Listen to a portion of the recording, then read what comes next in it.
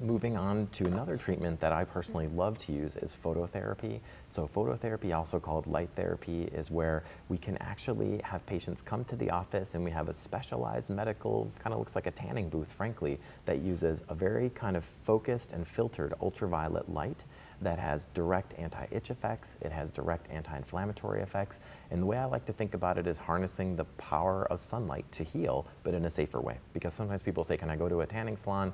We don't want that. That's a different fraction of the UV spectrum and much more damaging. This is sort of filters out the more damaging and skin cancer causing rays and just keeps sort of the good ones that we want.